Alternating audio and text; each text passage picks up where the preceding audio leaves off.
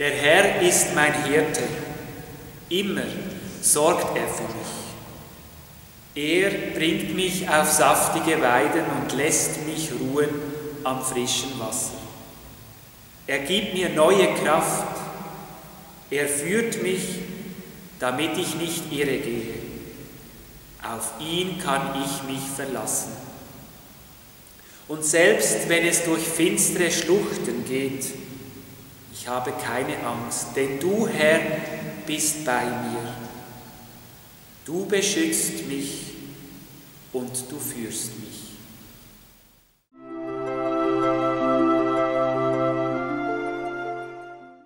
Auf meinen vielen Corona-Spaziergängen kam ich an einer Schafherde vorbei. Die waren alle eingesperrt im Stall und dazu noch eingezäunt.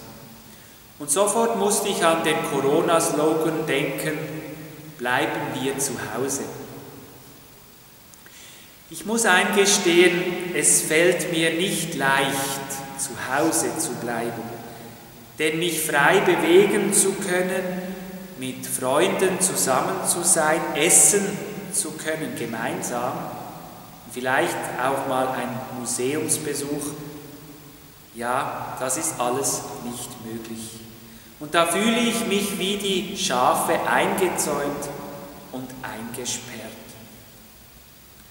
Und fast stündlich horche ich den Stimmen des Radios und der Fernsehprogrammen und ich erwarte endlich eine Botschaft.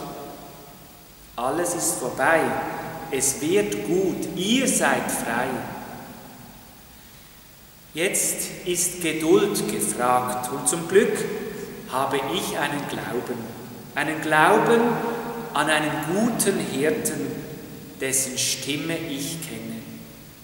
Ich weiß und ich spüre, er ist bei mir.